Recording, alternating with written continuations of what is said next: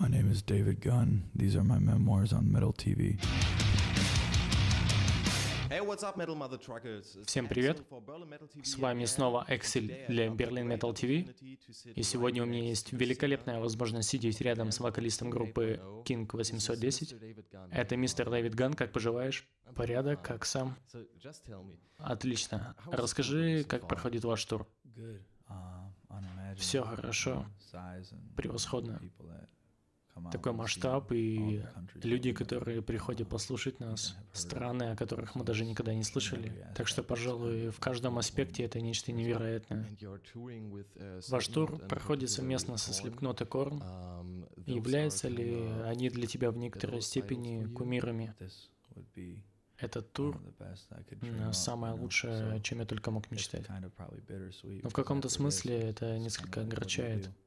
Поскольку когда он закончится, ты думаешь, а что дальше?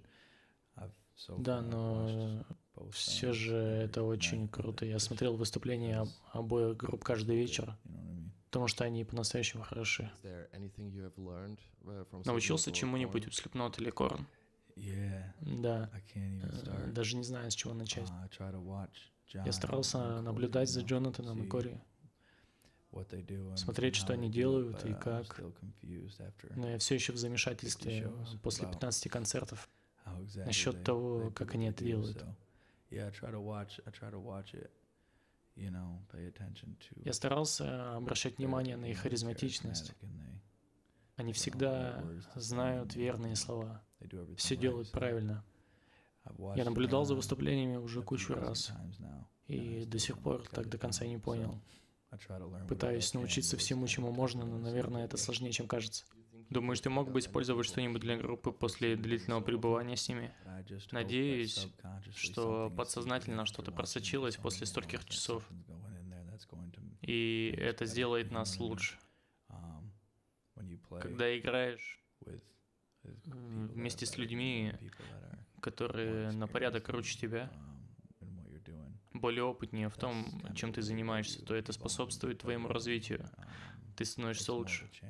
Это своего рода вызов, ведь мы не то чтобы просто выходим на сцену и играем каждый вечер, это довольно непросто. Я следил за деятельностью Кинг на просторах интернета и прочитал все комментарии под вашими клипами.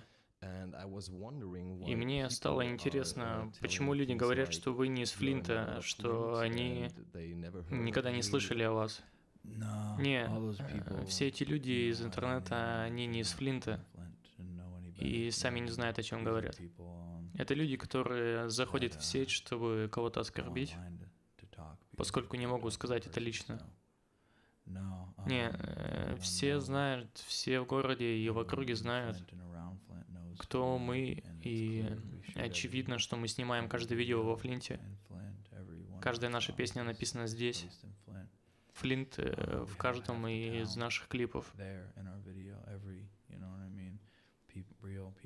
Никто из тех, кого мы знаем, и, в общем, э, любой из Флинта никогда бы не сказал, что мы на самом деле не оттуда. То есть, по сути, это просто привлечение внимания они схватились за первую вещь, которую, которая им попалась, за ту, что важна для нас и характерна. Это Флинт. Поэтому они обращаются к фразам по типу «Знаете, чуваки на самом деле не из Флинта». Когда вы возвращаетесь домой время от времени с еще большим успехом группы, каково это быть снова в городе? Ничего не меняется, все как и раньше? Нет, все так же. Никогда не замечал изменений. Многим людям там им как-то как-то все равно, думаю. Они считают, что это хорошо, то, что мы делаем, они поддерживают нас. Но когда мы приезжаем обратно домой, все по-старому, люди занимаются все тем же, и нет такого, что к нам относятся как-то по-особому, только потому что у нас какие-то там важные дела или тур. Все по-прежнему, так что когда мы возвращаемся домой, то чувствуем, будто никогда и не уезжали. Что делаете в свободное от тура время? Просто работаем дальше. Обычно над группой. Мы любим работать над визуализацией наших песен. И всегда пишем что-то новое, работаем над очередными идеями. Мы занимаемся всем, всеми аспектами касательно проекта, будь то мерч или видео, и в целом любые решения, связанные с группой по поводу релизов, записи, гастролей, всего этого.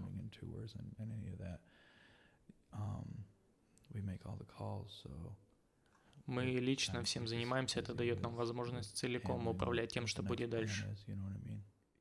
Ты сказал, что есть новые песни, над которыми вы работаете, значит, скоро вы что-то выпустите. Наши работы не будут продолжением мемуаров. Но мы продолжаем писать тот материал, что начали сочинять для него в 2009 году. Тогда мы не закончили, и материал не сдавался вплоть до 2014 года. Отсюда появились пять лет, за которые мы написали порядка 50 или 60 песен. В итоге мы записали где-то 25 треков. И когда мы закончили работу над альбомом, мы продолжили сочинять. Просто потому, что это то, чего мы хотим. Мы не собираемся выпускать каждые два года по альбому с десятью треками, как это делает большинство тяжелых групп. Мы будем выкладывать музыку несколько раз в год. Десять песен на два, три или четыре года — это не то, как мы хотим действовать. Звучание останется прежним, как в мемуарах.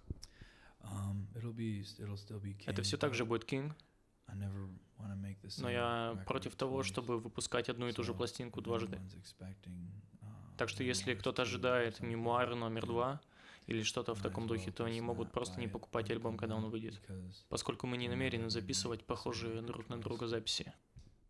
Как насчет текстов? В мемуарах они довольно мрачные и агрессивные.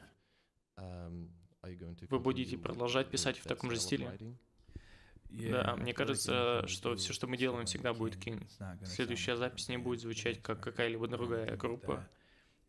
И она не будет звучать как что-то, что мы уже делали или могли бы сделать, или что-то, что могло быть в мемуарах.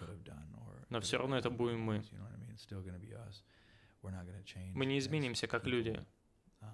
Если судить по тому, какими мы были, пока взрослели, и какие мы люди сейчас. Я не намерен искать абсолютно новую тему для обсуждения и изобретать велосипед с новым альбомом. Он все равно будет King, просто скорее частью его эволюции, а не тем, что мы уже делали. Теперь вы собираетесь в тур, в поддержку, если я не ошибаюсь, рэпера Tech Nine. Работа с Tech Nine не кажется нам обязательно чем-то странным. Мы не были сбиты с толку, когда Текнайн позвал нас. Мы сразу согласились, потому что хотели поехать. Нас не заботит то, как это будет выглядеть для людей из интернета, которые хотят просто порисоваться, или то, что это рэпер. Нам по душе его работы, поэтому мы поедем с ним в тур. Если бы Slipknot пригласили нас в свой тур и были бы какой-нибудь местной группой из Демойна, которая не распродает билеты на стадионы, мы бы все равно поехали с ними, потому что они нам нравятся.